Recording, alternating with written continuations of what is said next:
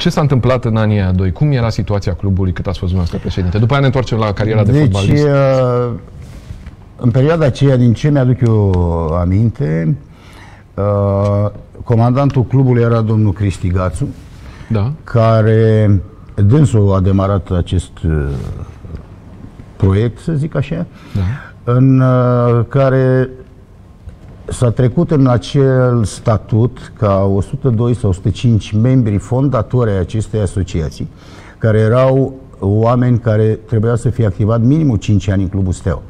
Ok. Că erau de la handbal, că erau de la volei, că erau doctori, că erau foști fotbaliști, trebuiau să aibă minimum 5 ani. Da. Așa s-a înființat uh, această asociație. După care s-a creat acel Consiliu de Administrație, cu domnul Viol Peunescu președinte, unde eram și eu membru.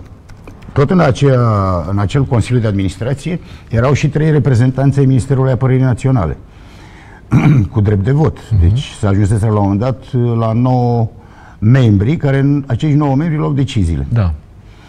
Uh, au trecut ani, probabil că investiții în fotbal nu au mai fost și s- eu în 2000, 2000, să zic primăvara, am plecat de la secția de fotbal, așa m-am întors în club, că eram uh, ofițer Ok. și am Ce lucrat grad în aveați club. atunci? Mai țin... Uh, major sau locotenent colonel, cred că era. Și s-au făcut schimbări care, acum să vă spun sigur, cred că la vremea respectivă s-a apelat la domnul Becali, dânsul a Erați în- fost... Uh, uh, nu, nu, nu. Nu apucase să vină domnul Becali? nu, când- nu, nu, nu, nu, nici nu l-am cunoscut. Nu l-ați cunoscut în perioada Dacă aia. l-am văzut de două ori, așa să zic, față în față. Ah, ok, probabil că pe la întâlniri era cumva pe lângă domnul Nu, dar Păunescu nu, sau... când eram cu AFC-ul, în perioada Da. aceea, nu venea dânsul, nu avea nicio treabă. De-abia, vă spun, după 2000, Da. probabil că a fost un investitor care a dat bani și pe care, probabil, după aceea s-a spus, domnule, stai un pic, că pe banii mei, hai să-mi Da. fac și eu documentele. Și s-a creat, deci AFC-ul probabil că a intrat în faliment, da. iar uh, societatea nou înființată au făcut uh, să preia echipa de fotbal.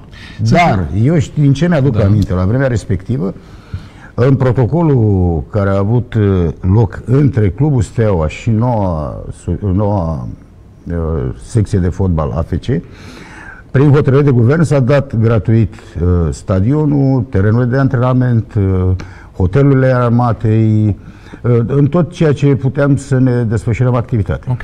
Un lucru care este foarte important din punctul meu de vedere în tot ceea ce se discută în ziua de astăzi, acolo era scris că AFC este continuatoarea de drept a uh, secției de fotbal din cadrul clubului sportiv al Armatei Steaua. Ok.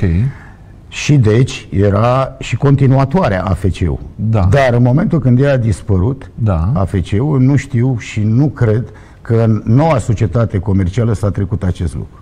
De asta cred că sunt atât Dar ce de simțiți mari dumneavoastră? discuții. Sunteți stelist totuși. De, deși tatăl dumneavoastră campion de box a fost dinamovist, ați început la Dinamo, dar în Măduva aveți steaua. Ce simte Da. un stelist care are și șase titluri de campion ca jucător?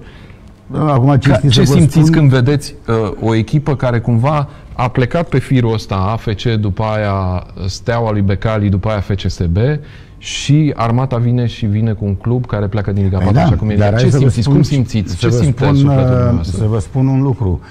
Uh, Secția de fotbal a armatei nu a dispărut niciodată din structura clubului. Deci, mulți spun că au reînființat în Așa. 2013. Ea nu a dispărut niciodată. Eu eram în club, Da. secția de fotbal exista, nu a fost activitate câțiva ani de zile, iar după aceea, prin 2013 sau 2015, s-a reluat activitatea, nu că s-a reînființat Deci ea secția. n-a fost di- desfințată, Ea era n-a doar fost în niciodată hibernare, desfințată. să spunem așa. Niciodată nu a fost desfințată secția de fotbal.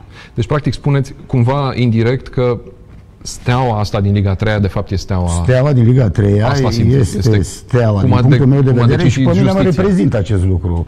Pentru că acolo am uh, avut cele mai mari succese, acolo m-am realizat uh, ca om, Da. uh, am cunoscut mari campioni, mari conducători și, Păi și uh, dumneavoastră sunteți după au titluri. fost Nu alții vă și mai laudă. mari, au fost da, alții dar și mai aveți mari șase decât titluri, mine. adică nu știu cât se șase laudă. titluri, dar nu uitați că în clubul Steaua sunt campion mondial, campion olimpic și Ok, da. A, ok. jos, da. respect, jos pălăria pentru tot ceea ce au făcut dânsii. Uh, asta vă spun că secția nu a fost uh, desfințată niciodată. Iar ceea ce s-a încercat, că s-au început aceste procese uh, cred că numai uh, o judecată dreaptă va da câștig de cauză și eu cred că câștig de cauză va avea tot armata până la urmă. Vreau să vă întreb o